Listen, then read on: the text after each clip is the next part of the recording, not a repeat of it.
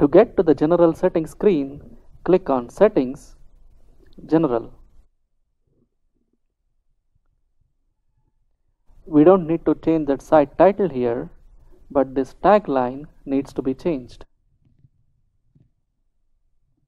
If you want your website to have www in the URL, you can specify that here. This is purely a matter of personal preference. There is no advantage to having www versus not having www in the URL. It's just that some people like to have www in the URL. Right now, if we visit the site, the URL does not have the www in it. Let's change it now.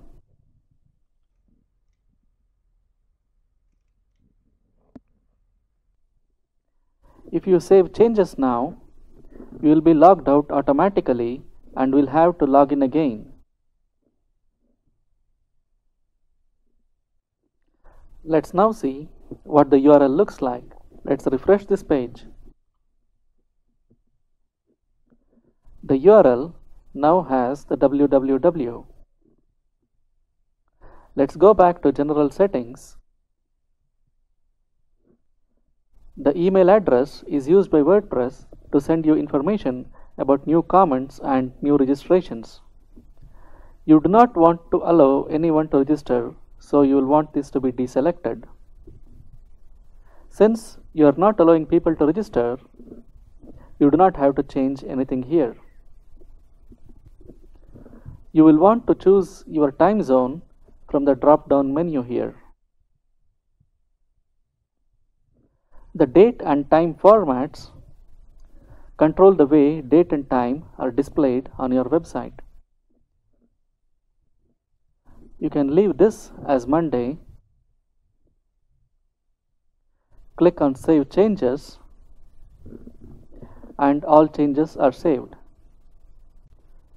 To get to the writing settings screen, go to Settings, Writing.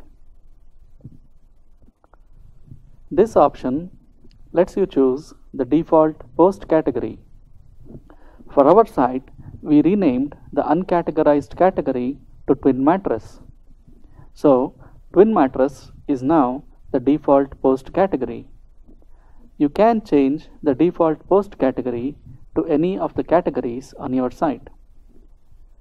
The options you have for the default post format depends on the theme you are using.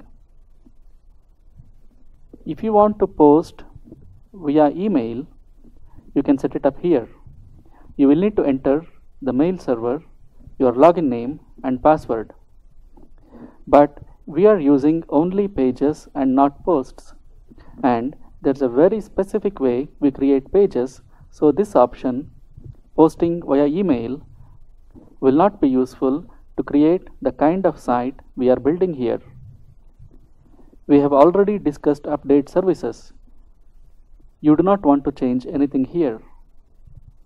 Let's save changes and the settings are saved. To access the media settings screen, go to settings, media. The media settings determine the maximum dimensions in pixels of the images you insert into pages and posts. WordPress can reduce images but cannot enlarge them. Based on the dimensions specified in the media settings, up to three images are created by WordPress for each image you upload. For instance, if you upload a 2000 pixels by 2000 pixels image, WordPress creates three images. One of 1024 by 1024, another medium sized image of 300 by 300 pixels and a thumbnail size image of dimensions 150 by 150. But if you upload an image that measures 480 by 480, it will create only two images. One 300 by 300 and another 150 by 150 sized thumbnail image.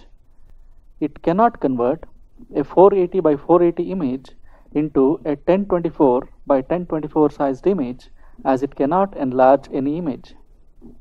Similarly, if you upload a 75 by 75 image, no additional images will be created as creating a 150 by 150 or a 300 by 300 will require WordPress to enlarge the image and it cannot do that. You can either use one of the images created by WordPress or the one you upload in your pages and posts. You can also change any of these settings.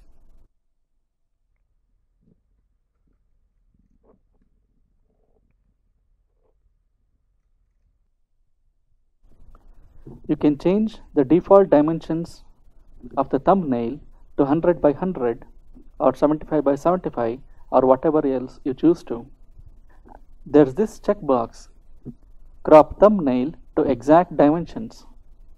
If this box is checked, the image will be cropped such that the width is always equal to the height of the image. But if you uncheck this box, the image will be resized based on the width and height of the original image. The width and height of the image WordPress creates will be proportional to that of the original image.